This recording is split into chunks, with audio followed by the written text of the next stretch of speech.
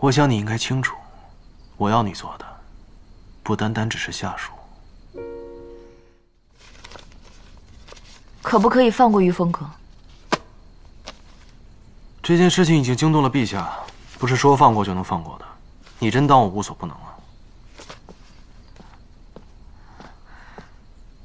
我只知道，殿下是纯良之人，被你以激将法骗入局中。玉峰阁是他毕生的心血，还请大人得饶人处且饶人。我好不容易赢了一次，你却让我得饶人处且饶人。那你知道我输了会有什么后果吗？我不会让你输的。就凭你？冯大人这样做，无非是想收拢玉峰阁的人才。听闻大人最近在替礼部招兵买马，不知道这礼部有没有合适我的位置？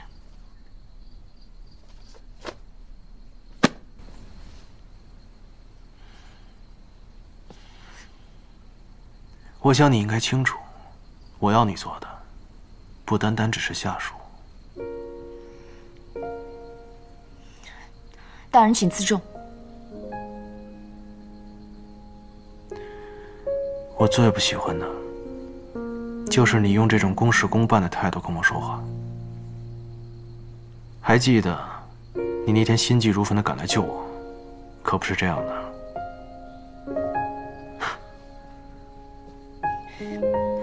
我愿意搬入冯府。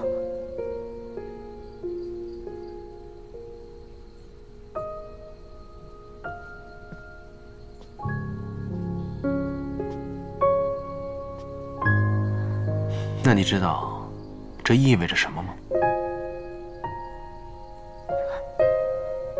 只要你肯放过三皇子，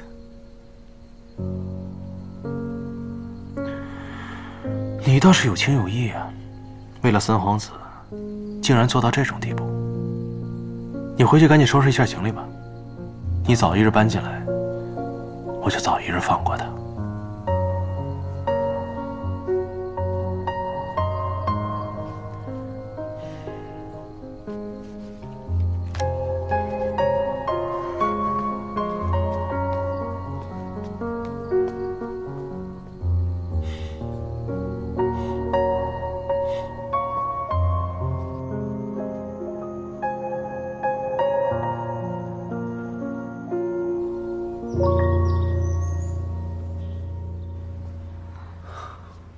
你也是来辞行的吗？对不起，殿下。殿下对你有情有义，如今殿下有难，你竟不顾而去。亏欠殿下的，日后我一定归还。只是此刻，我必须要离开玉风阁。